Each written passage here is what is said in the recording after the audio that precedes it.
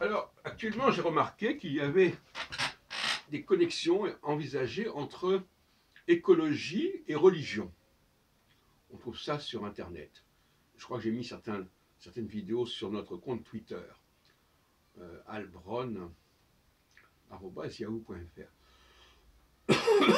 Donc, euh, il est évident que la troisième création interpelle la deuxième création au regard de l'écologie. Car l'écologie, c'est justement la victime de la troisième création. C'est la victime de l'industrie.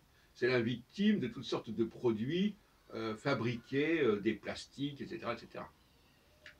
Donc on voit bien que la problématique écologique est une arme remarquable de la part de la deuxième création à l'encontre de la troisième création.